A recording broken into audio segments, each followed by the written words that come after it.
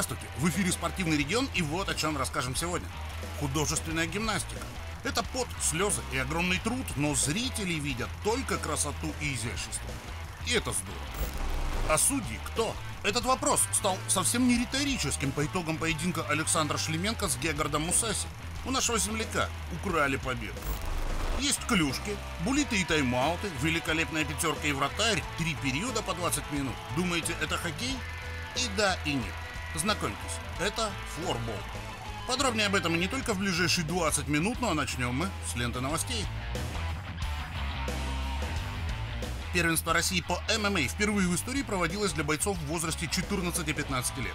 Участниками соревнований в Уфе стали более сотни ребят из 26 регионов страны. Омскую область представляли 6 бойцов, которым секундировал вице-президент Союза ММА России, старший тренер сборной нашей страны Амич Андрей Терентьев. По его оценке, омские ребята выступили даже сильнее, чем ожидалось. У нас два золота, серебро и две бронзы.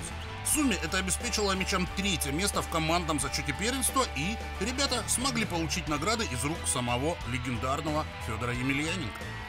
На льду конькобежного центра Коломна лучшие скороходы страны соревновались в рамках первого этапа Кубка России. Овечка Ольга Граф начала олимпийский сезон с победы.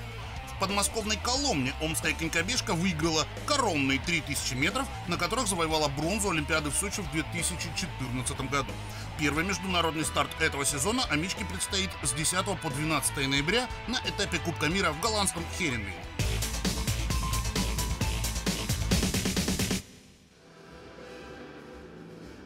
Когда на помост выходят стройные, гибкие, грациозные гимнастки, зрители замирают от восторга.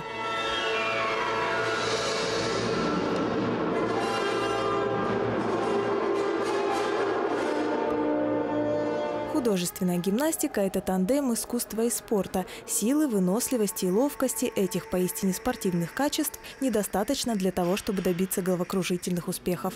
Каждый раз, выходя на ковер, перед гимнасткой стоит непростая задача – прожить этот номер снова и снова, слиться с музыкой воедино, продемонстрировать красивые движения и изысканно легкие прыжки, безошибочно выполнить все броски, ну и, конечно же, не скрывать своих эмоций. Надо более чаще улыбаться, то есть эмоции показывать. Сейчас наступили новые правила, то что если не будет эмоций, особенно под музыку, например, артистичную, то снижать баллы. Во время выступлений на чемпионате и первенстве Омска по художественной гимнастике улыбались спортсменки все без исключения. Кстати, в этом году на первых в сезоне городских стартах на ковре Центра олимпийской подготовки собрались около 150 юных граций, чтобы побороться за награды в индивидуальном зачете и групповых упражнениях. Это для нас ну, главное событие. Мы проверяем свою новую программу, как мы можем. Мы представляем э, все, что новое, и мы просто проделаем. Долго готовились и надеялись показать лучше, и старались не волноваться, чтобы выступить спокойно и хорошо. Для первых соревнований я считаю, что это неплохо. У меня еще лента сегодня, еще один вид, последний, завершающий. Мне нравятся все виды, но ближе мне, наверное, лента. Почему?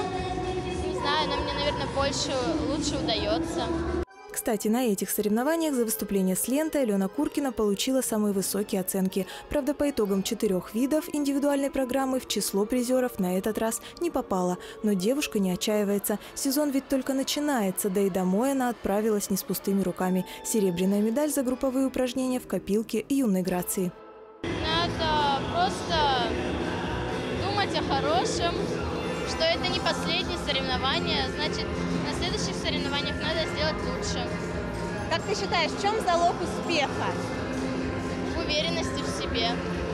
А еще в настойчивости, выдержке, терпении и трудолюбии. Художественная гимнастика не терпит лени, воспитывает в спортсменках стальной характер, но при этом позволяет девчонкам выплеснуть накопившиеся эмоции, иногда даже поплакать. Но все это за пределами ковра. Во время соревнований, несмотря ни на что, спортсменка просто обязана закончить свое выступление. Надо успокоить себя и поверить, что ты можешь лучше сделать. Если потеряешь, то можно отработать потом. Ну, Думать, что ты не хуже остальных и просто верить в себя. Поверили в себя и стали победительницами чемпионата и первенства города по индивидуальной программе среди спортсменок младших разрядов Екатерина Пантелеева и София Яковлева. Золотая медаль среди кандидатов в мастера спорта досталась Дане Семиренко. Лучшей из мастеров стала Полина Нецветаева. По итогам групповых упражнений на высшую ступень пьедестала во всех категориях поднимались воспитанницы Центра олимпийской подготовки. В Тверской области завершились чемпионаты первенства России по бесснежным дисциплинам ездового спорта. Успешно на турнире выступили представители Федерации ездового спорта Омской области Андрей Секунцов и Эдуард Бухинский. Андрей стал чемпионом страны в дисциплине кани-кросс, а Эдуард выиграл бронзовую награду в байк-джоринге. По итогам состязаний омские спортсмены и их питомцы получили приглашение в состав сборной России, которая уже в ноябре примет участие в чемпионате мира. Тренерский штаб молодежной сборной России по хоккею во главе с Валерием Брагиным определился со списком кандидатов на участие в ежегодной ноябрьской серии из шести матчей со сборными канадских юниорских лиг. Матчи пройдут в Канаде с 6 по 16 ноября, а уже 1 ноября на краткосрочный сбор в Новогорск прибудут 27 хоккеистов. Среди них и нападающий авангарда Артем Манукян, который в минувшую субботу в Череповце открыл счет своим голам в КХЛ. Лишь 23 игрока из этих 27 рано утром 3 ноября вылетят в Канаду. А уже за океаном по ходу турне состав команды будет пополняться российскими игроками из североамериканских лиг.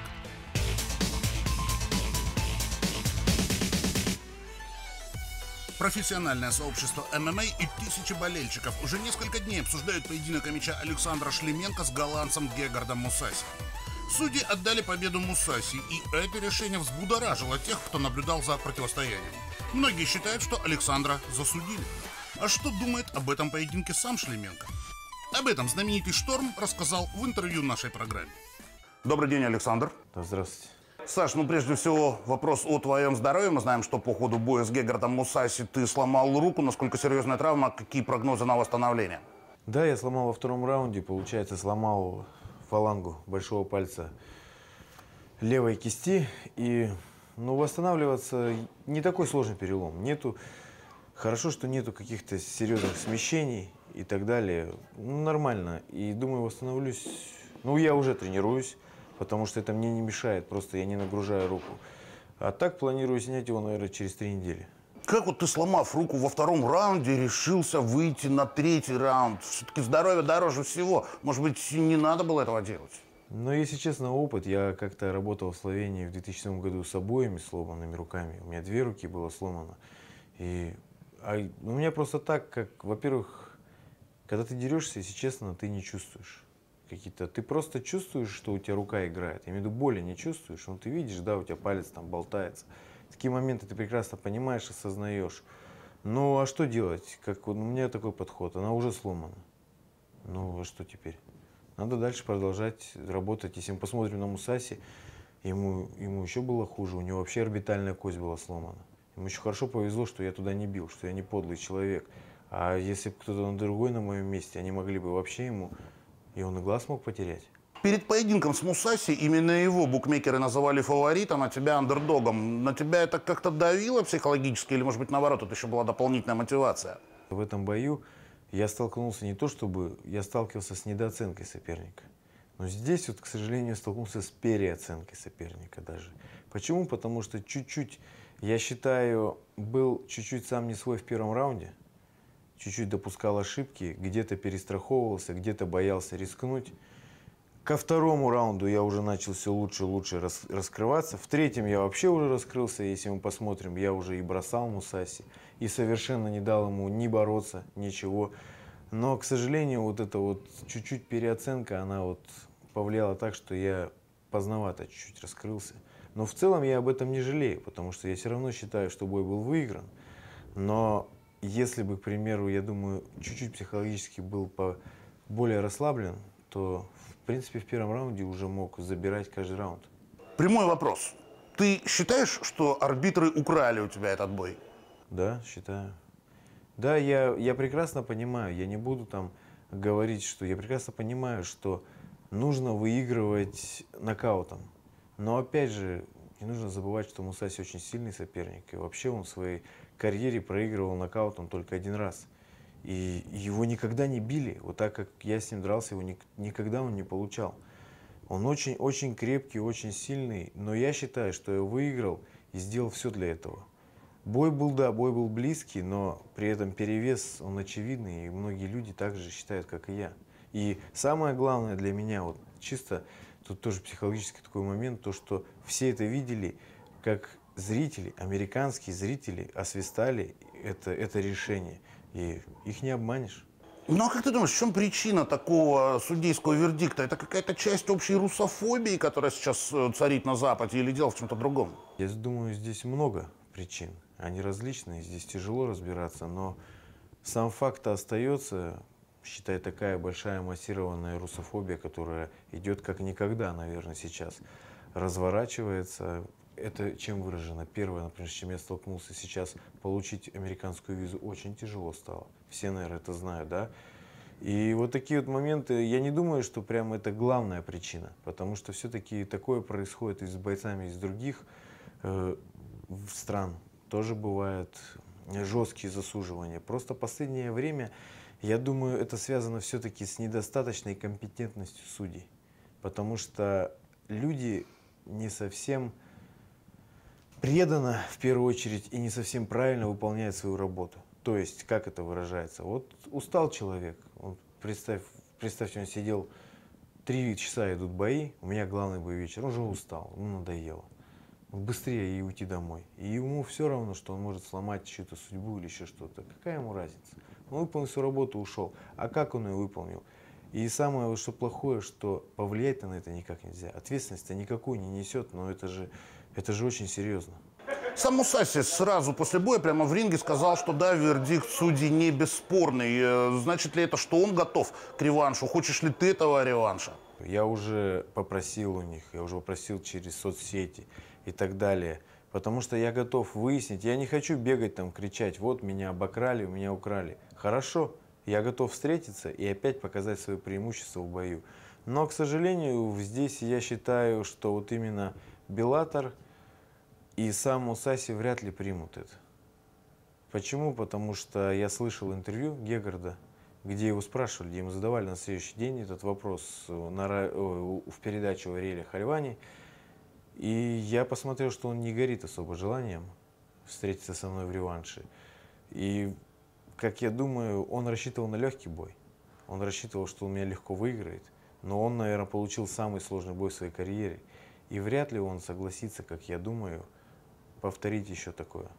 Учитывая вот такое несправедливое судейское решение, учитывая то, что тебя тогда пытались обвинить в том, что ты якобы употребляешь допинг, ты, наверное, несколько раз еще подумаешь, да, перед тем, как заключать новый контракт с Беллатор? У тебя ведь всего один бой остался до истечения контракта. Сейчас я все-таки жду в первую очередь, чтобы стать свободным агентом. Почему? Потому что Сейчас, когда я подписывал контракт в 2010 году, я почти был неизвестный в Америке. Сейчас я на совершенно другом уровне известности, популярности и так далее. И я буду рассматривать все. В первую очередь это условия, отношения, здесь все повлияет. Я не говорю, что я уйду из Беллатора.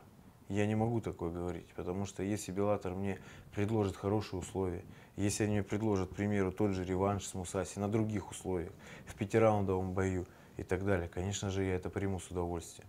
Ну а если они ничего хорошего мне не предложат, а другая организация какая-нибудь выйдет с более интересным для меня предложением, конечно же, я уйду. Большое спасибо за это интервью. Да, не за что. Завершился заключительный этап всероссийских соревнований по регби. За награды, кроме мячей, боролись хозяева поля новокузнечане, а также команды из Бийска и Новосибирска. Напомним, что в сентябре в Омске проходил третий этап чемпионата России. Тогда амичи выиграли серебро. На втором этапе в Новосибирске наши регбисты были третьими, а в Бийске пятыми. В итоге, по результатам четырех этапов, омский Асгард выиграл бронзу. Индивидуальный приз, как лучший игрок команды на заключительном этапе, получил студент Сибгуф Владимир Новожилов. Акробатка Мария Чернова и ее партнер по дуэту Георгий Потарая стали чемпионами России. Ребята взяли золото в многоборье для смешанных пар. Представительный турнир проходил в польском городе Жешвуде. Серебро досталось белорусской паре, у которой очень внушительная разница с россиянами в целых 6 баллов. Бронзу завоевали британцы.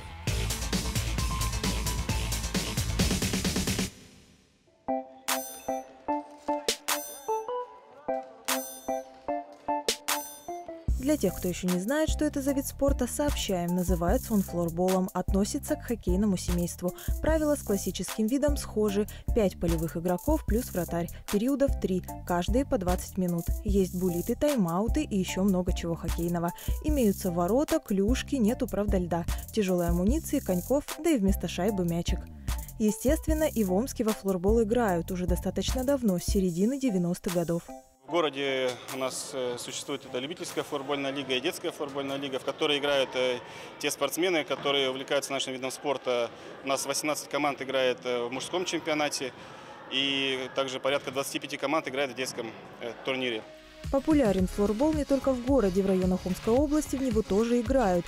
Проводятся для сельских ребят и соревнования. На этой неделе команды из Марьяновки, Оконешникова, Азовского, Москаленского и Омского районов приняли участие в традиционном первенстве области. Как это все начиналось, зарождалось в районах. Именно мы провели показательные матчи в рамках, это была э, праздник Севера, мы выезжали и была спартакиада школьников. В Большеречи мы выезжали, вот, проводили именно показательные выступления, какие-то мастер-классы, приводили игроков сборной Омской области, которые показывали какие-то определенные упражнения, проводили игры. Ну и вот как бы постепенно-постепенно сейчас уже ну, примерно в 10 районах Омской области играют команды. Для сельских парней этот вид спорта неплохая альтернатива классическому хоккею. К примеру, ребята из команды Азовского района «Шторм» в холодное время года предпочитают гонять шайбу по льду. С наступлением весны меняют коньки на кроссовки, а хоккейные клюшки на флорбольные. Наш директор как-то, я уже не помню в каком году, наверное, в 13 или в 12 привез мне клюшки для флорбола. Вот, и сказал, вот, занимайся в межсезонье, потому что у нас льда же нету круглогодичного. Вот, сказал, занимайтесь. Ну, в принципе, мне эта идея очень понравилась, потому что это же хоккей, флорбол, ну, во многом схоже. Это клюшка, это голова. Вот. И мне понравилось. И сам участвовал в лиге, играл за команду. Вот. И рад, что пацаны заразились вот этой игрой, и им нравится, в общем-то. Уже несколько лет ребята из команды «Шторм» принимают участие в традиционном первенстве Омской области по флорболу. В 2015-м азовчане были вторыми, а в прошлом году первыми. В этот раз до победы не хватило всего лишь несколько очков немножко недонастроились. Ребята, по самоотдаче вот у меня есть претензии, ну, так скажем. На что нужно обратить внимание по приезду домой? Ну, скорее всего, на защиту, потому что игроки проходят и бросают. Мы не успеваем, я не успеваю реагировать, и получается гол. На самом деле вратарь азовской команды очень самокритичен, защищал свои владения юноша отважно, отразил немало бросков соперников, а по итогам турнира был признан лучшим вратарем. А вот больше всего проблем соперникам, по мнению судей, доставил нападающий марьяновской команды «Метеор» Александр Боровиков. Кстати, на протяжении всего турнира ребята играли неплохо. Не удалось одолеть лишь соперников из Азовского и Омского районов. Итог – почетное третье место. Только положительные эмоции, хороший опыт. Третье место тоже неплохо вообще, как ты считаешь, что вам не хватило сегодня, над чем нужно будет поработать? Мне кажется, везения не хватило. Много штанг было, много бросков мимо, а так хорошо. У нас сильная команда, просто повезло соперникам. Не по воле случая, благодаря хорошей уверенной игре, победителями третьего первенства Омской области по флорболу стали ребята из Москаленского района. Лучшим защитником турнира был признан игрок этой же команды Юрий Лещинский. В том году у нас был сильный состав в том году, и мы второе место заняли, проиграли, проиграли Азова 2-0 и все, и они первые. А в этом году мы не ожидали даже такого. Перебегали, получается, соперников. А так нас было всего 6 человек, считай, без замен играли, поэтому было сложно. Возможно, это заключительные старты по флорболу для сельских ребят в этом году. Не за горами начало хоккейного сезона, а это значит, что совсем скоро пора будет вновь менять кроссовки на коньки, клюшки флорбольные на хоккейные, ну и мяч на шайбу. В Омске определили победителей и призеров открытого турнира по волейболу среди любительских команд памяти Ивана Багнюка. Участниками финальных матчей стали 20 дружин. За медали боролись мужские и женские команды, а также команды ветеранов. В итоге у мужчин победу праздновали спортсмены из Омск Электро. У женщин сильнейшими признаны волейболистки команды Ом ГТУ. У ветеранов первое место заняла команда Белл. 23 награды, 9 из которых золотые, а также 8 серебряных и 6 бронзовых завоевали омские пловцы на чемпионате Сибирского федерального округа по плаванию. Самый большой золотой запас сумел собрать мастер спорта Мартин Малютин. На его счету 4 золота. Кроме того, на счету Малютина серебро и бронза. Еще две серебряные медали наша четверка выиграла в эстафетах. Две победы комплексным плаванием одержал Иван Павлов. Еще два омских золота на счету мастера спорта международного класса Рустама Гадирова. И это все, о чем мы успеваем рассказать сегодня. До встречи через неделю. Любите спорт.